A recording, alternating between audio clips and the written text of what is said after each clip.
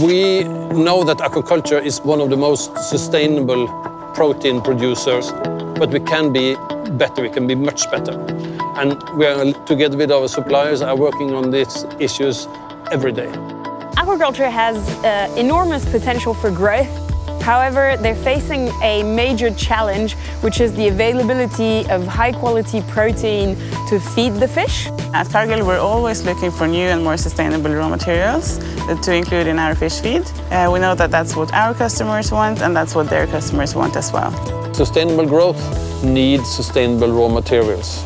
And insect meal is uh, definitely a sustainable raw material. Insect protein can be a solution and a renewable source of protein to feed fish and ultimately feed the world.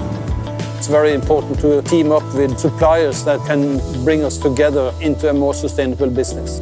And Cargill, as one of the biggest feed supplier globally, they really know how to do this. This project has the potential to revolutionize the way we think about food, which is healthy, sustainable, and natural. I think that we can bring this forward, bringing new raw materials, being less dependent on only marine resources. Uh, this is a really good thing. Why is it important to take care of nature, or of a planet?